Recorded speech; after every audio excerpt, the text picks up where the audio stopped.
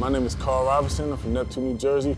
What I like about fighting so much is one of the purest things out there. It's one man against another. The person who comes out is the person who prepared the most and wants it more. I fought in Glory, and Glory took me to the next level. I'm here to show the world what I'm capable of and uh, come get that knockout.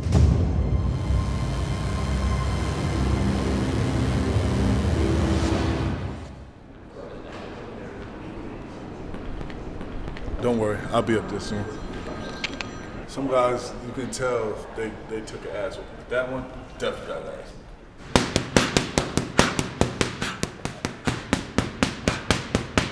A little bit dry out here. Nice though, calm. Like it. Jersey's such a rush. Everybody's nice to sell out here too. I went to a convenience store and the lady was like, "Hey, how you doing? Thank you very much." New Jersey, they're like, "I hate my life. Get out of my store." How you doing? How you doing? Travis. Karl. What's up, brother? How you doing? Nice to meet you, man. What's up, man? bro? How you doing? Travis. Ran Combat, Jersey. I've seen you a bunch of times. So, So you're like, you don't remember me, do you? You're like, nah, I don't know. I already learned that lesson, so I'm we, like, we shared the life of Ran Combat. Sick facility, baby. Can't wait to do some real work out here, boy. Got everything you need. And it's nice out. Got the doors open. Got that atmosphere about it. Ready to punch somebody in the mouth. Whenever someone fights Karl and he hits them, they've never been hit that hard before in their entire life, and they have that like, "What the hell just hit me?" moment, and that's what we capitalize on, and that's why Karl finishes fights and he finishes them early. I don't see this going long. Oh, gotta enjoy every, point of not why do it, right? Live life with a smile on your face. Work hard, knock people the fuck out. That's how we do it. Welcome to Las Vegas, episode three of Dana White's Tuesday Night Contender Series. Our featured bout, Ryan Spann and kickboxing standout Karl Roberson. Roberson, this guy is one of the toughest guys. He can do everything. He can fight on his feet, he can fight on the mat. This is the featured fight tonight. Karl Baby K Roberson coming in with a perfect record, not only as a pro, but as an amateur as well. And this is Ryan Superman Spann. Eight wins by submission, five by guillotine. First round, fight, are you ready? Fight, are you ready? Fight! Ryan Superman Spann, Karl Baby K Roberson. Didn't take long for this uh, this fight to pick up pace, huh? Don't worry, you're good. You're good. Oh, those elbows are rough. Oh wow, he's hurt, and that is it. Goodness. Wow, Karl Roberson. That's power. Short elbow power. He did a great job in defending that takedown, getting to that underhook, picking him up, and he hit that up elbow off of that tie up. That was beautiful. Winner by knockout. Karl. Good, stand up, let's go. So let me know what you want to do. I fought 85. 85? Yeah, I fought 85. How many times? Uh, three times. Make the weight easy? Yeah. So just one of the- Congrats, man. Let's go, baby. All right. He had you up against the fence and you landed some beautiful short elbows. Is that a signature of yours? Yeah, I love elbows. We train elbows, spinning kicks, anything. We gotta be dangerous everywhere, and that's what we train. Hard work pays off. You had a little conversation uh, with the man himself, Dana White, on the way out. What were you guys talking about? Uh, talking about changing weight classes, I said wherever he needs me, that's where I'm gonna go. I'm ready to fight anytime. Well, congratulations on a heck of a performance. Tonight we're going to take Jeff Neal and uh, Karl Roberson. Ooh, dreams come true. Hard work pays off. Best thing I could say. Now you got to deal with this. Let's go, baby. I deal with it every day. Let's go, baby. Excuse me, bro. Thank you, brother. I'm good. How you doing? What's up, man? How you doing, bro? Gas tonight. Thanks. What's new back? Rolling down the You got an ass. You the man. He know better now. You know better now. that was, Snoop is the man. It's only that's the man. Yeah, I'm from uh, Neptune, New Jersey.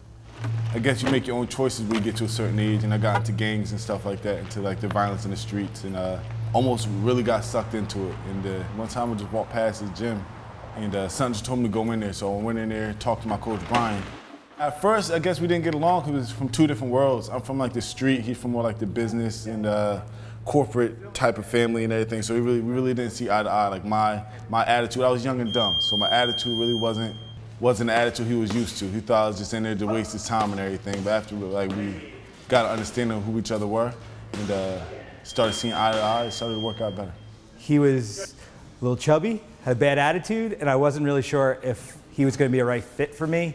He doesn't come from the, the best neighborhood, had some issues, had to come to terms with that. And I mean, when he woke up and realized that you're not who you were, you are who you are right now, that changed everything for him. That's why he got where he got in such a short amount of time with so few fights.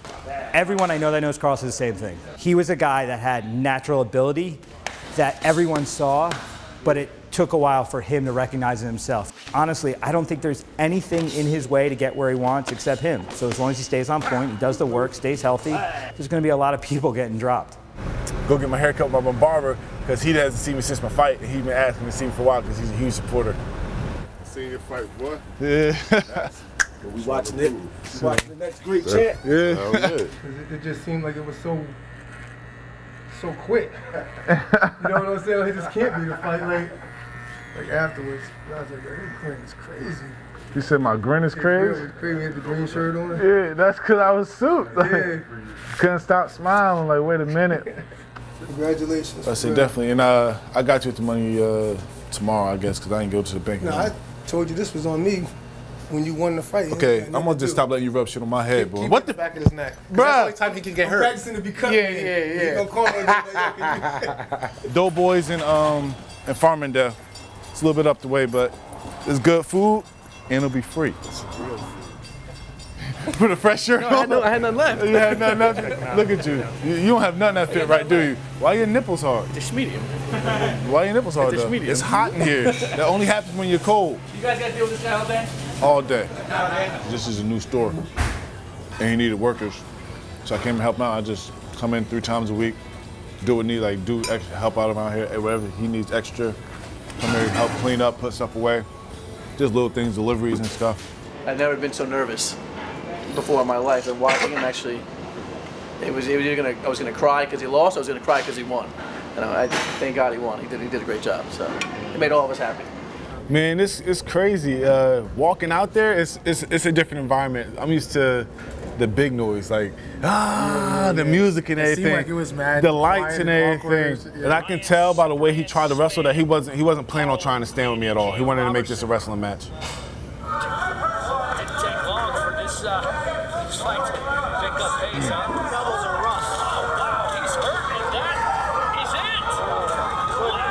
Is Like, he truly didn't even know he was out. He asked the ref what happened. Why'd you stop it?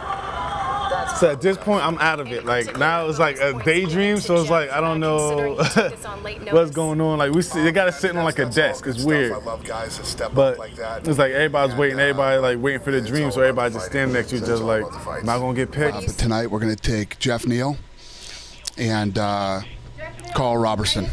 That's one of the best feelings in the world. Like yeah, like it's it's crazy. Like it's crazy. That's the best. Yeah, it's dope. oh my god.